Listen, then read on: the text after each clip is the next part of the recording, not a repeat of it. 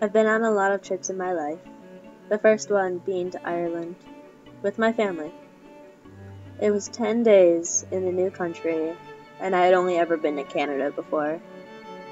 I didn't want to go at first, but once I got there, I realized just how amazing of an experience it really was.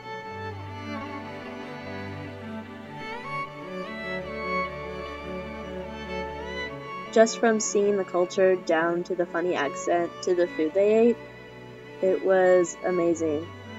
We even stayed in a castle one night. It was the best bonding experience for me and my family. The survey trip. We were supposed to be learning how to survey the land, and I did take that from that trip. But for the most part, all I can really remember are my long walks on the beach running down the sand dunes, and the endless sunsets every night that blew my mind away. The Maine trip was probably my favorite, but now that I say that, I'm not sure that's true.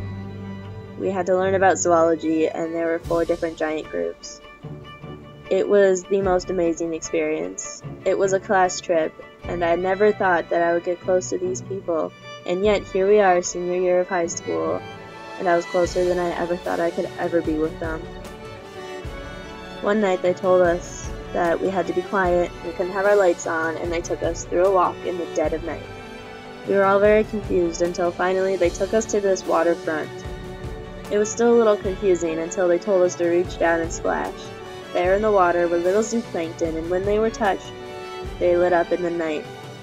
It was magical, and it looked a little something like this.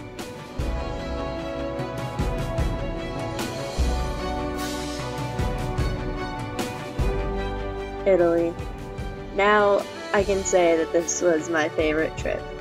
I felt like I was in a fairy tale the whole time I was there. It was another class trip, and yet again they proved me wrong, and I ended up being closer with all of these people. We had to bring our sketchbooks everywhere we went, and I think it was a sketch a day, maybe two. I can't remember for sure. We were in Florence, Venice, and Rome, and it was the most amazing experience.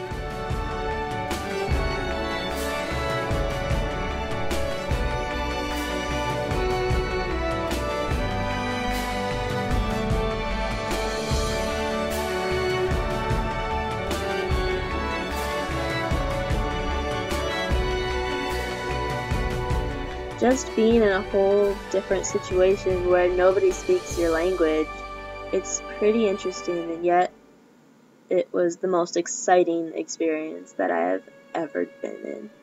One of my favorite memories are the night walks that we went on almost every night with my teacher. Easter Sunday was also pretty cool because they like to explode a giant cart in the middle of the square. The Trevi Fountain was another good memory for me and I became really close with some people there. I will take this class in my memories for the rest of my life.